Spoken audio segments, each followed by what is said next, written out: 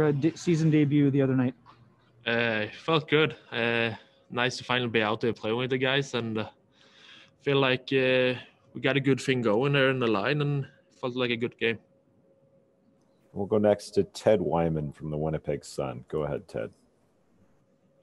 Hey, David, we had heard that you suffered an injury in Sweden playing and then a bit, bit limited in training camp. How difficult was that for you to deal with and trying to get back to this point? Uh, yeah, well, it's always difficult when you have an injury, and especially at start of season, and especially during training camp, because you, I mean, you want to get here and like show, show to the coach that you want to play in the team. So that was hard. Uh, but I feel like now when uh, it's all healed up and rehabbed, I feel like uh, I've had a good chance to show that I was supposed to play here.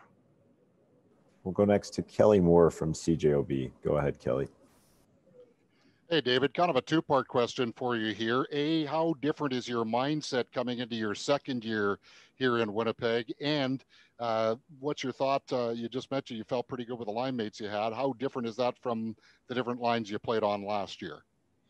Uh, well, the first question, um, I feel like uh, I have a better mindset this year. I mean, last year I was just, it's always tough for your first year, the rookie year. I was like mostly here to learn, and uh, you know, I was didn't really expect that I was gonna take a spot on the team. This year, I, you know, I've learned my stuff, and uh, now I know that what I what I have to do to be an NHL player.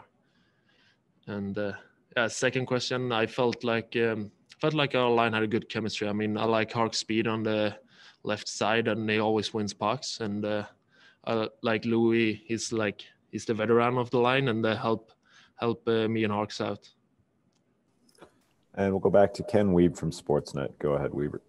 David, what was the most important lesson you learned playing with the Manitoba Moose, where you had so much uh, responsibility and ice time? Uh, well, I mean, uh, it's uh, it's hard to transition from the European style of hockey to the uh, North American style of hockey, and that's probably it's probably been the biggest uh, challenge for me. And I feel like my time in the Moose really helped me out a lot with uh, making that transition from the European style of hockey to the Canadian style of hockey. Because when I was on the Moose, I got a lot of ice time, and uh, it's a fast game, so I got a lot of time to really work on that transition from the European style. And last question to Kelly Moore from CJOB. Go ahead, Kelly. Yeah, David, just to expand a little bit on Trevor Lewis, uh, there were a couple times uh, during the game uh, the other night where I saw him talking with you. Uh, how valuable are those conversations uh, from a guy who has two Stanley Cup rings in his uh, on his resume? it's really valuable. I mean, that helps you out a lot. Makes you whenever he talks to you and helps you out, it makes you a lot more calm during the game because sometimes we young guys can get a little too fired up, and uh, he helps a lot. And uh, you know, it's just um, it just gives you confidence whenever he complimenting you or whenever he says there's something else you got